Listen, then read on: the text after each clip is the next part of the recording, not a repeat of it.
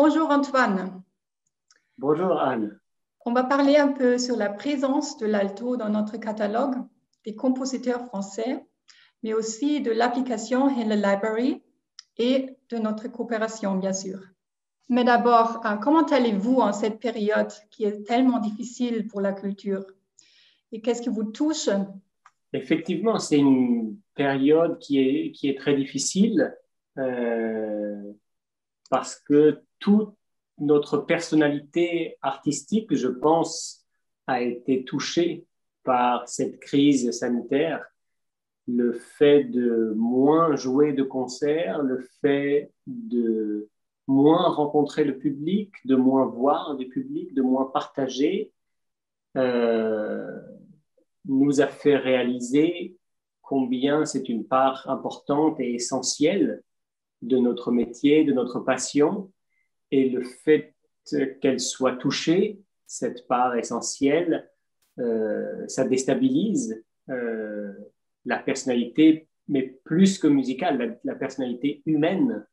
Et on développe, en tout cas pour ma part, un, manque de, de la rencontre, du partage avec le public, avec l'auditeur, parce que c'est pour eux qu'on travaille. Euh, c'est pour euh, défendre les compositeurs, défendre les partitions. On a envie qu'elles soient entendues. Une partition, euh, même très jolie, qui reste dans une bibliothèque, mm. euh, n'existe pas. L'œuvre d'art n'existe pas si elle n'est pas entendue. Mais j'ai vraiment réalisé, pour, pour donner ça positivement, que j'ai besoin de la musique, j'ai besoin de la culture, j'ai besoin de l'art et j'ai besoin qu'elle soit entendue et je pense que le monde a besoin de ça.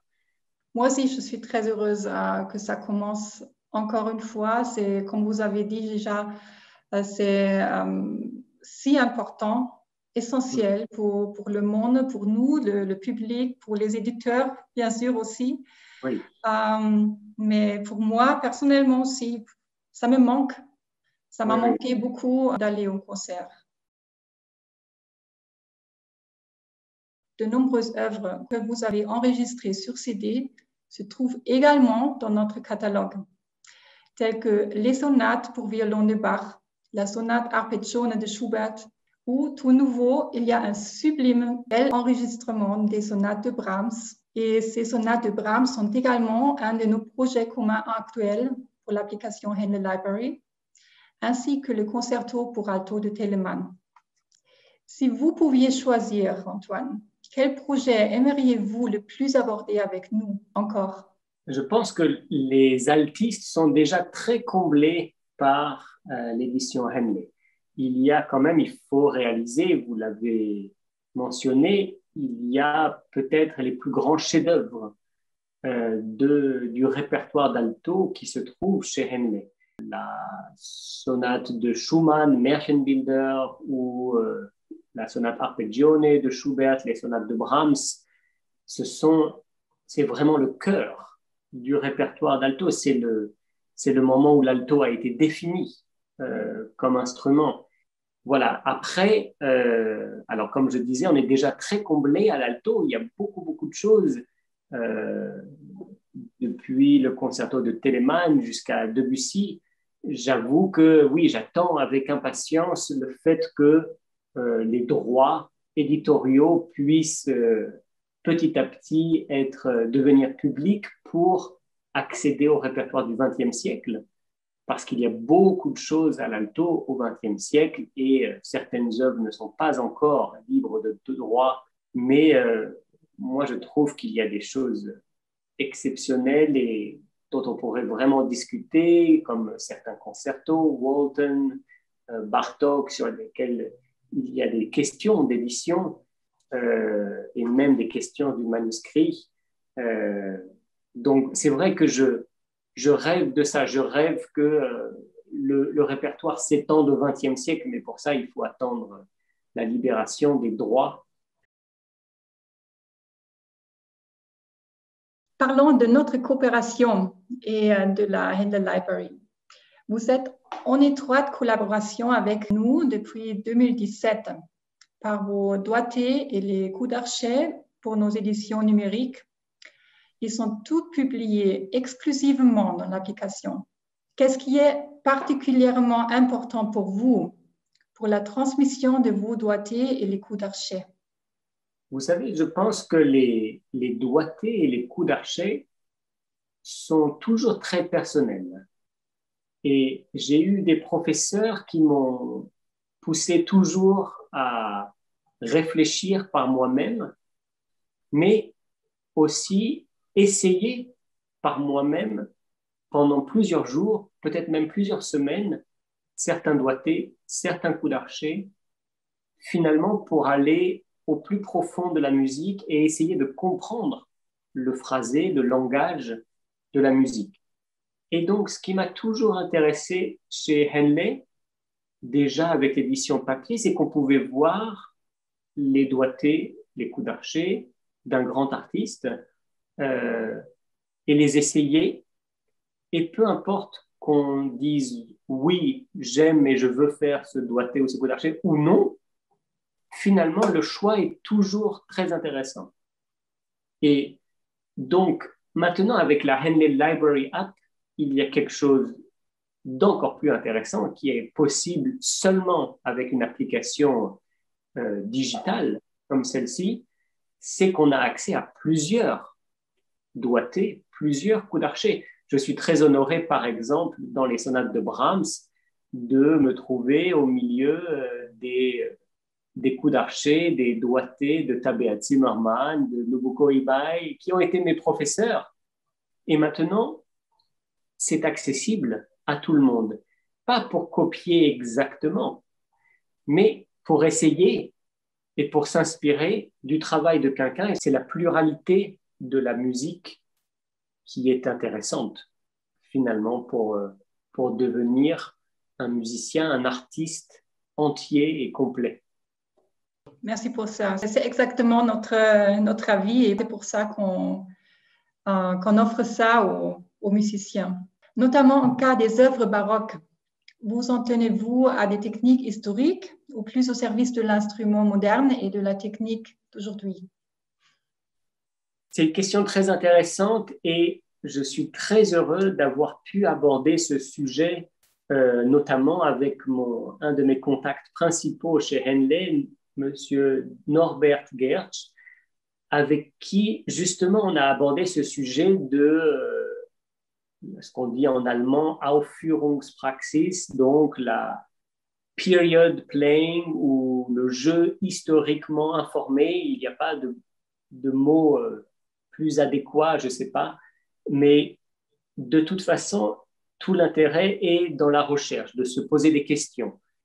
Et donc, pour le répertoire baroque, il y avait euh, une question principale qui est l'essence du style baroque, c'est quelle part faire à l'improvisation, quelle part donner aux ornements, quelle lecture fait-on de certains phrasés Est-ce que ce sont des coups d'archet ou est-ce que ce sont des phrasés pour comprendre le langage Comment on interprète les endroits où il n'y a pas de phrasés ni de coups d'archet Et moi, je fais une recherche avec, bon, bien sûr, un instrument baroque qui date de 1672, mais très souvent des cordes en boyau, un archet baroque ou alors un archet classique.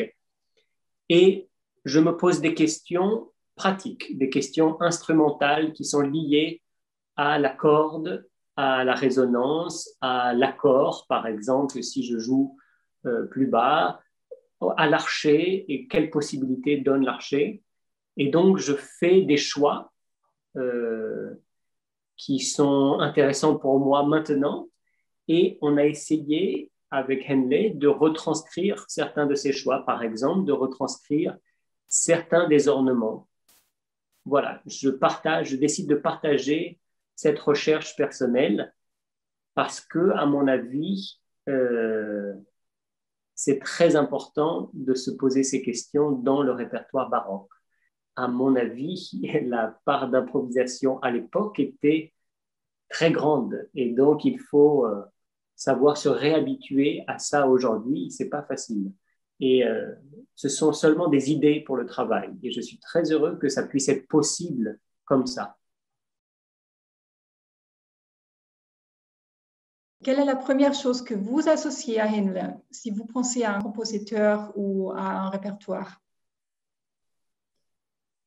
J'associe Henle aux, compositeurs allemands et autrichiens.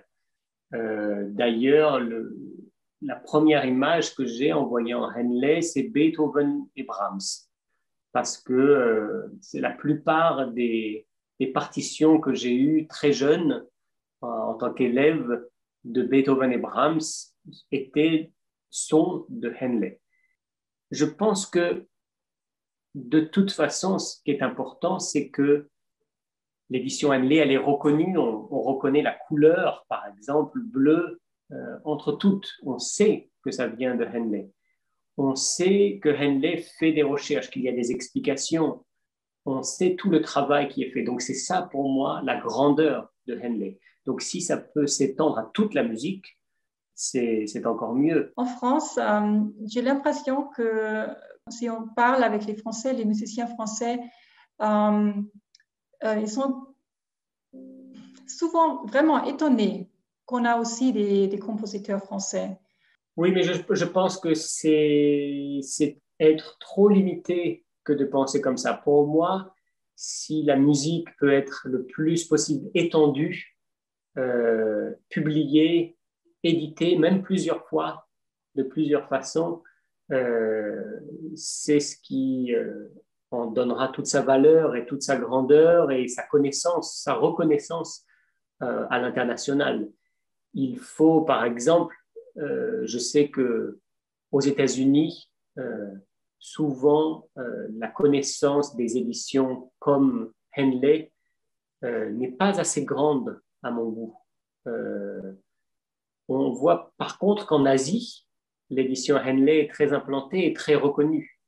Donc, euh, j'aimerais euh, tout simplement que l'édition Henley puisse être reconnue partout pour son travail, pour la qualité et que les œuvres qui sont proposées soient connues, soient reconnues partout et qu'on puisse avoir accès à ce travail. Ce sont les sonates de Brahms et ma partition est devenue maintenant très vieille. elle est juste là derrière et elle est très abîmée. Et bientôt la couverture va devoir être changée. Hein. Mais j'aime aussi la, la vie des partitions en papier. Et euh, parce qu'il y a beaucoup de souvenirs dedans.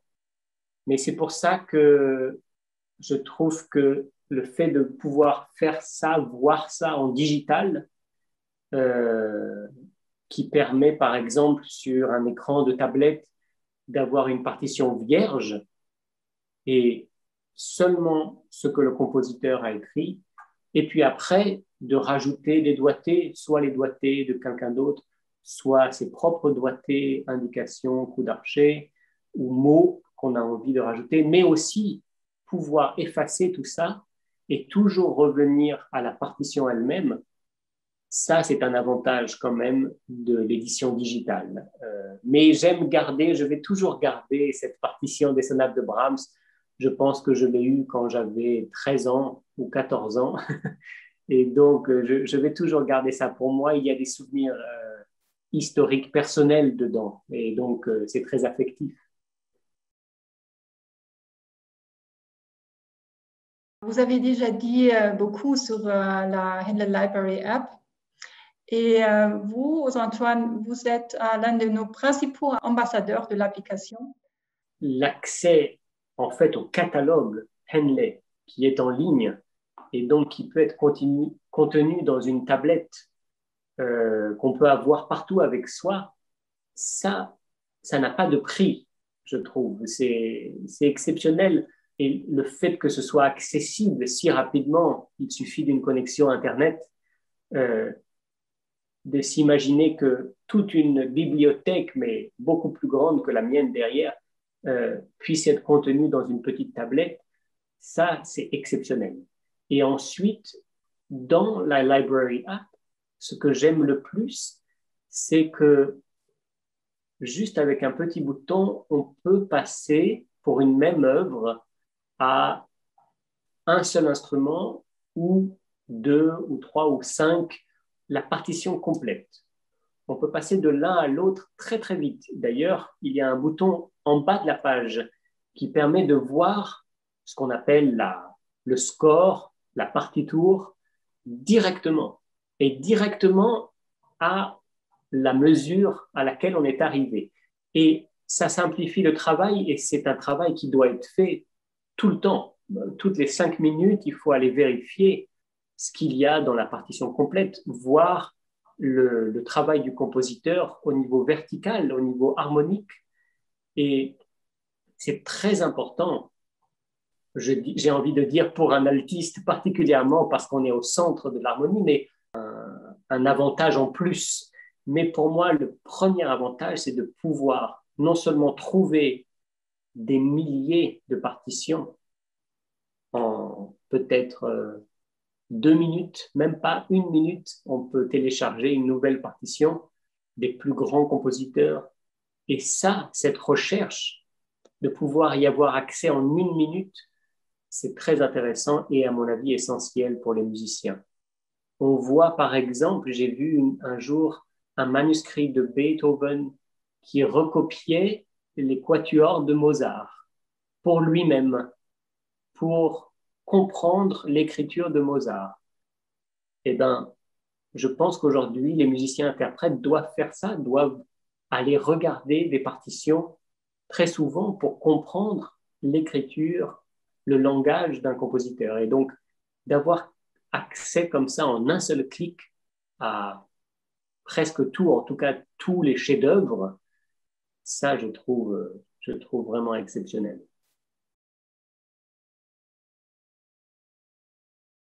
L'alto est souvent incompris, un peu à l'ombre du violon. Euh, que peut faire l'alto que le violon ne peut pas?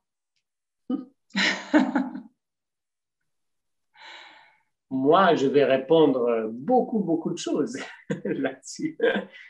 Je pense que la place de l'alto euh, a quand même beaucoup, beaucoup changé euh, les 20, 30 dernières années, même pendant tout le XXe siècle.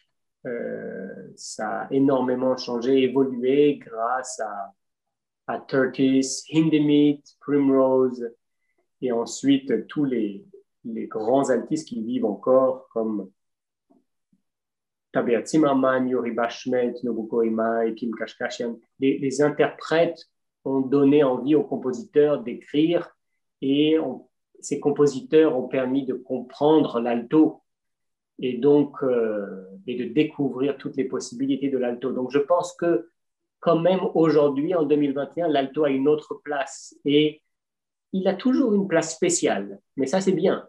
Euh, je pense que chaque instrument a sa personnalité. Mais quand on repense à ce que disait apparemment Johann Sebastian Bach, c'est Johann Christian Bach, son fils, qui dit ça de son père, que euh, Johann Sebastian aimait beaucoup jouer de l'alto parce qu'il avait l'impression d'être au centre de l'harmonie.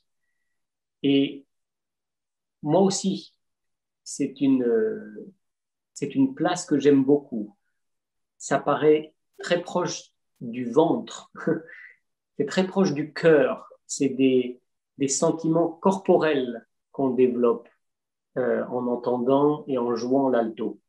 Et le rôle central de l'alto, par exemple, dans un quatuor, qui fait que, bien sûr, on n'aura pas forcément la mélodie thématique tout le temps, mais est encore plus intéressante parce qu'il va y avoir dans l'alto la petite note, l'harmonie qui va tout changer, qui va soutenir, qui va modifier la couleur.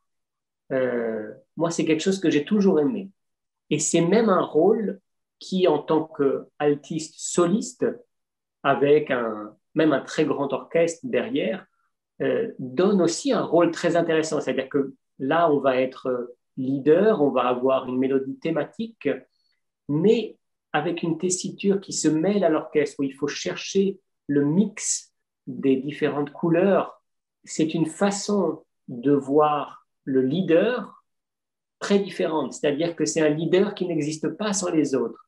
C'est un leader qui n'existe pas sans se mêler aux autres. Alors ça peut même devenir une philosophie de vie, une philosophie presque politique euh, qui est très intéressante. On n'existe pas sans les autres, sans le rapport aux autres. En allemand, il existe un grand nombre hein, de blagues d'alto. Ça existe euh, aussi en français? Euh, J'adore vraiment les blagues d'alto. Et d'ailleurs, je vais vous paraître très intellectuel, mais j'aimerais trouver l'origine des blagues d'alto. Et je me demande non seulement quand est-ce qu'elles ont commencé, mais peut-être où elles ont commencé.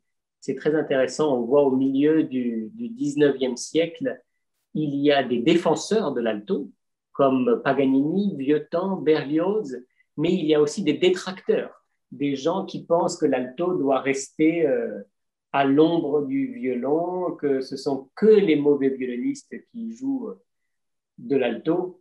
Euh, donc je me demande, ce serait très intéressant de découvrir quand ces blagues ont commencé.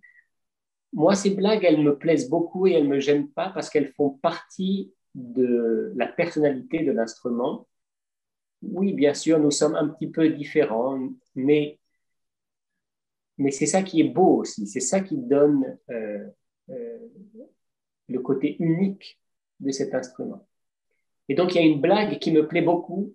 C'est un quatuor à cordes qui, qui survit à un naufrage de bateau. Alors, il jouait d'habitude sur le bateau pour les gens du bateau, et finalement, le, le bateau fait naufrage et seulement le quatuor survit et se retrouve coincé sur une île déserte.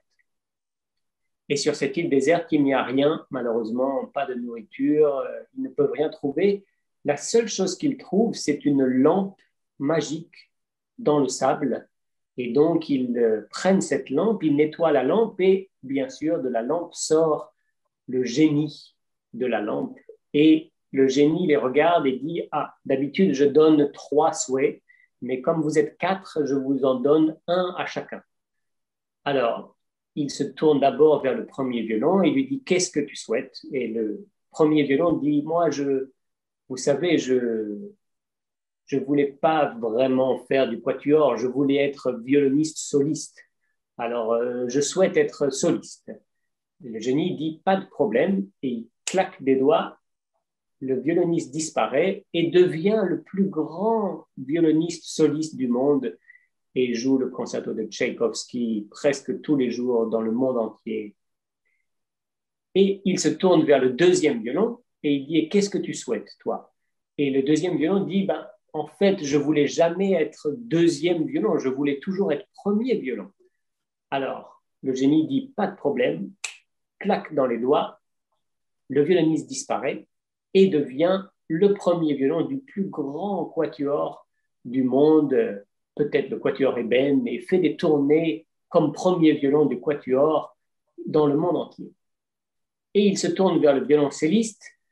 Et lui dit Et toi, qu'est-ce que tu souhaites? Et le violoncelliste dit euh, En fait, moi, je voulais même pas être violoncelliste, je voulais être chef d'orchestre. Comme souvent ça arrive, les violoncellistes veulent diriger. Et le génie dit Pas de problème, claque des doigts, le violoncelliste disparaît et devient le plus grand chef du monde, invité dans tous les orchestres du monde entier. Grand succès. Et enfin, le génie se tourne vers l'altiste et dit Et toi, qu'est-ce que tu souhaites? Et l'altiste ne sait pas. Il dit Je ne sais pas, je ne vois pas. Euh. Et finalement, il dit En fait, euh, je me sens un petit peu tout seul maintenant, donc euh, j'aimerais que tous mes autres partenaires de Quatuor reviennent. Et le génie dit Pas de problème. Et il claque dans les doigts. Voilà, je pense que ça retransmet bien la personnalité de l'alto et des autres instruments. C'est la vie d'être au centre. Voilà. Merci pour ça. Et encore une fois, merci beaucoup pour votre temps et pour tout l'entretien. À vous et bravo et merci à toute l'édition Henley au travail gigantesque qui est fait et la cerise sur le gâteau, la Henley Library App. Je suis très heureux que ce soit accessible à tout le monde. Merci. Au revoir. Au revoir.